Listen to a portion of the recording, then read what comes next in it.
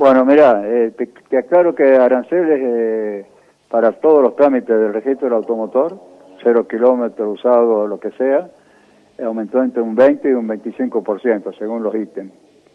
Eh, hace un año que no aumentaban los aranceles, igual que los formularios también aumentaron, eso aumentaron el 30%, eso es privado, esos son privados, los formularios se compran privados, aumentaron el 30% también después de un año.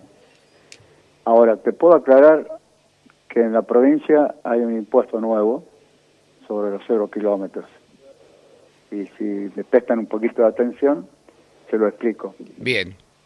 Eh, facturados en Córdoba, autos nacionales del Mercosur y de fábrica, el 1,5%. Facturados en Córdoba, autos importados y de fábrica, el 3%. Y facturados fuera de Córdoba, es decir, vos compras un vehículo en La Pampa, sobre factura el 4%. Ese es un impuesto que se aplicó a partir del 2 de enero. En la provincia de Córdoba únicamente. Exacto. Esto es provincial. O eh, se recaude va a la provincia. Sáqueme la duda, Quiroga. ¿Esto se le dio difusión este, este, este, este aumento? No, no.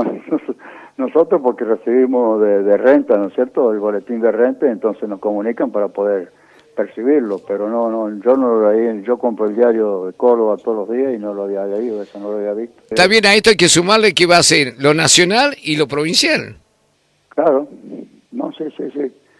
vos sobre una factura que vos comprabas antes un vehículo cero kilómetros que vos has comprado, sí. me valía 120 mil pesos, lo compraste en Córdoba, facturado en Córdoba, facturado en Córdoba, el 1,5%. ¿no es cierto? Y si está facturado en cualquier otra provincia, el 4%. Es así de clarito, sobre el monto de la factura. Correcto, correcto. Así que eh, sacamos la tasa vial, pero le pusimos la, la tasa no sé cuánto. Sí, ahora qué tasa habrá que ponerle a esta, ¿no? Por eso, no sé. pero es más fuerte que... Claro.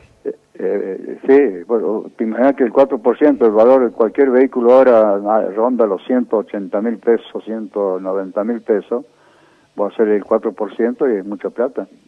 Es mucha plata por los montos que tienen también los vehículos. Claro, claro.